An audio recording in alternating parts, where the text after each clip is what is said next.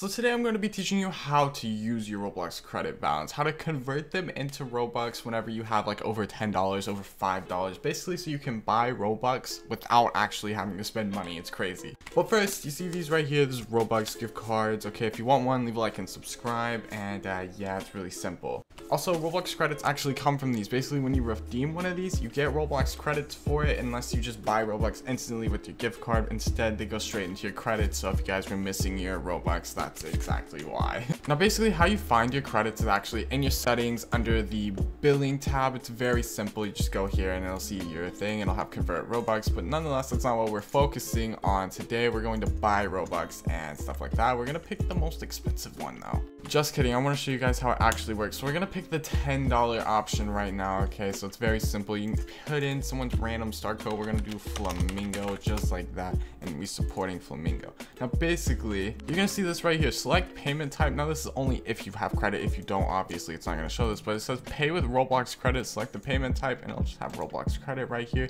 We click continue. Okay, very, very simple. 880 Robux. And uh, right here, see, it's going to take off right here you see 9.99 okay it's gonna come off of my 15 dollar credit. It's gonna be all for free. I click submit order and i literally just got these robux for free.